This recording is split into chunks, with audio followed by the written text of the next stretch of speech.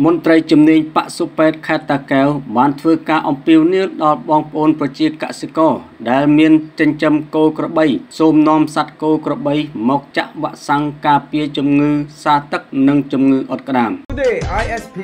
get connected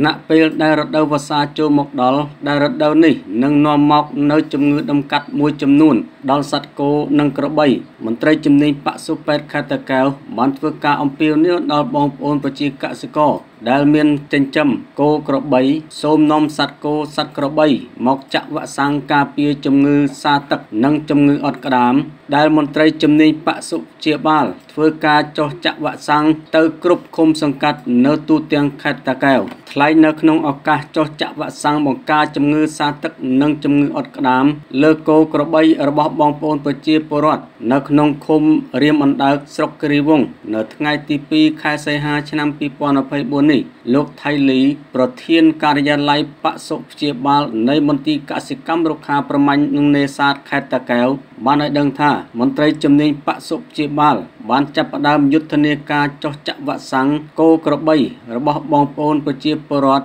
ចាប់ពីថ្ងៃនេះតទៅដោយចាប់ផ្ដើមពីឃុំរៀមអណ្ដើកស្រុកគិរីវង្សមុនគេ ដោយមានឯកឧត្តមអភិបាលខេត្តតាកែវ បានចូលរួមជាកិត្តិយសយុទ្ធនាការចាក់វ៉ាក់សាំងជំងឺសាទឹកនិងជំងឺអុតក្តាមនេះគឺធ្វើយ៉ាងណាចាក់គោក្របីឲ្យបានចំនួន90%នៃសត្វគោសត្វក្របីរបស់បងប្អូនប្រជាកសិករនៅក្នុងខេត្តតាកែវដែលមានចំនួនប្រមាណ270,000ក្បាល លោកថៃលីបានបន្តថាកាលពីឆ្នាំកន្លងទៅ មានករណីជំងឺអុតក្តាមឬសាទឹកកើតនៅលើគោក្របីរបស់បងប្អូនប្រជាកសិករយើងដូច្នោះដើម្បីការពារជំងឺនេះកុំឲ្យឆ្លងបន្តទៀតដល់គោក្របី សូមបងប្អូនប្រជាកសិករដែលមានចិញ្ចឹមគោក្របី សូមនាំមកចាក់វ៉ាក់សាំងការពារជំងឺសាទឹក និងជំងឺអុតក្តាមដោយឥតគិតថ្លៃលោកវ័យសំណាងអភិបាលខេត្តតាកែវបានធ្វើការណែនាំដល់បងប្អូនប្រជាពលរដ្ឋដែលចិញ្ចឹមគោក្របី សូមនាំគោក្របី មកចាក់វ៉ាក់សាំងការពារសាទឹកនិងជំងឺអុតក្តាម ដែលមន្ត្រីជំនាញបសុពេទ្យបានរៀបចំចាក់ជូនដោយឥតគិតថ្លៃហើយរដូវនេះជារដូវវស្សានិងមានទឹកឡើងដូច្នោះសូមបងប្អូនប្រជាកសិករនាំគោក្របីរបស់ខ្លួន ទៅកន្លែងទីទួលមានសវត្ថភាពជៀសវាងមានគ្រោះថ្នាក់ដល់គោក្របីដែលយើងចិញ្ចឹម